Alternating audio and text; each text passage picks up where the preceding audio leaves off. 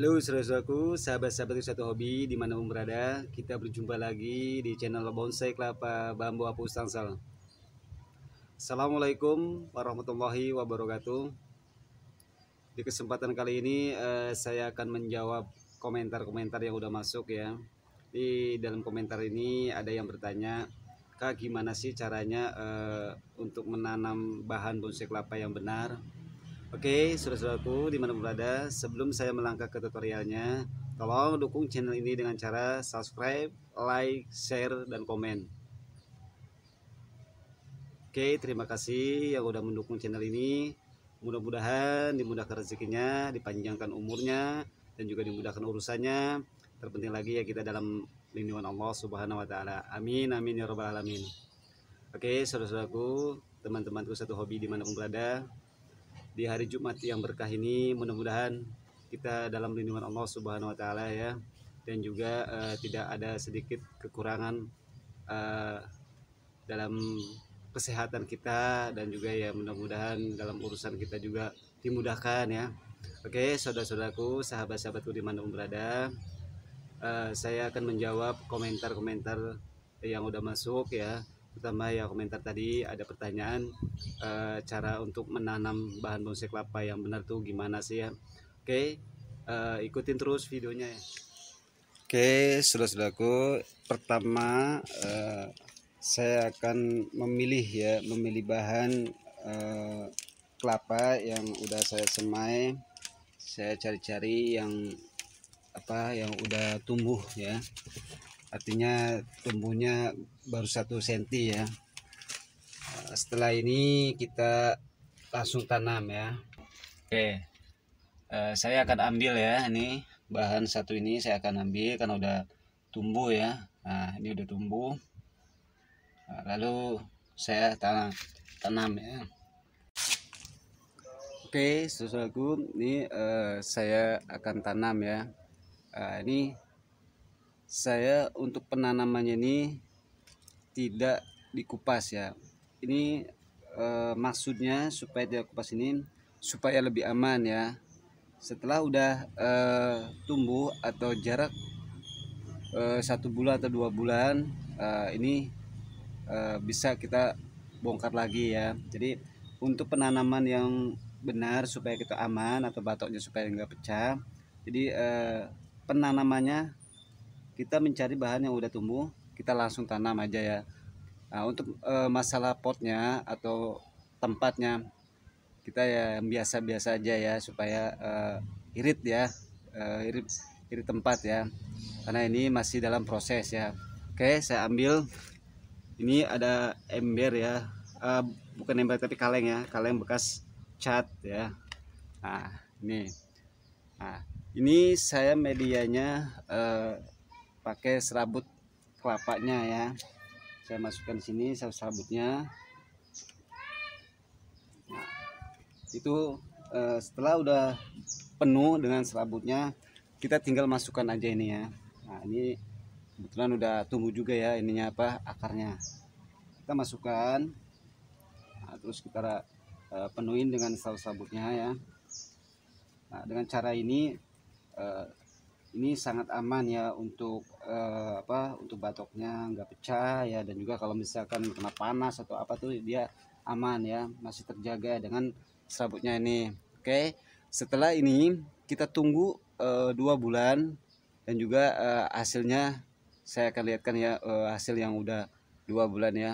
Oke ikutin terus videonya ya jangan skip skip tonton sampai habis. Oke saudaraku inilah uh, bahan bonsai untuk penanganannya ini uh, supaya menjadi bonsai yang bagus, yang cantik ya.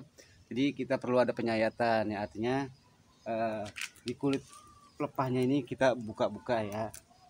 Nah, kita buka supaya daunnya ini uh, enggak memanjang ya, jadi kerdil ya. Nah, kita setelah dibuka kita bengkok-bengkokkan atau diurut ya supaya uh, daunnya ini cepat mekarnya ya. Yang penting ini uh, pelepahnya ini kulit pelepahnya atau kulit arinya ini kita buka ya. Nah, nah ini. Ini gampang kok mudah. Tinggal kita buka dan juga pakai tangan pun bisa karena ini masih dalam proses ya lebih aman ya. Kita pakai tangan aja udah bisa kok untuk membuka kulit area ini karena dia kulitnya tipis ya. Tuh. Oke. nah. Oke saudaraku eh, ini bahan bonsai kelapa saya ini ya untuk penyayatan itu harus dilakukan ya rutin satu minggu ya bisa dua kali ya karena supaya menghasilkan daunnya ini kerdil jangan terlalu besar ya. Nah ini kebetulan saya udah dipindahkan ke tanah ya tadi kan masih di media air ya atau dengan serabut kelapanya aja. Nah sekarang saya udah dipindahkan ke pot supaya uh, pertumbuhannya ini supaya bagus ya di daunnya supaya subur ya. Karena kalau di media air nih uh, untuk masalah daun uh, kurang bagus ya. Dia uh, kurang gemuk ya. Tapi kalau masalah di akar ya itu bagus ya karena dia cepat ya. Kalau di media air tuh dia cepat panjang. Oke saudaraku uh, ini sudah siap untuk kita ekspos akar juga ya. Kalau itu akar kita lihat udah mendukung ya boleh kita langsung ekspos akarnya. Oke ikutin terus videonya oke saudara-saudaraku uh, di depan saya ini uh, udah ada bonsai kelapa ya ya semi original ya. Emang dari awalnya uh, tadi udah lihat ya cara-cara pertamanya emang uh, itu masih ada tapesnya ya dan juga emang dibikin uh, semi ori ya. Nah di ini bonsai ini udah umurnya udah masuk empat bulan ya udah hampir lima bulanan ya. Nah jadi untuk cara kita mendapatkan bonsai kelapa yang bagus yang enak juga untuk dilihat mata. Jadi cara-cara untuk penanamannya ini eh, sangat-sangatlah simpel ya. Dan juga ya kalau kita menanam eh, dapat bahan bonsai kelapa yang masih ada serabutnya bagusnya baiknya kita semai aja atau eh, kita tumbuhin aja dulu ya.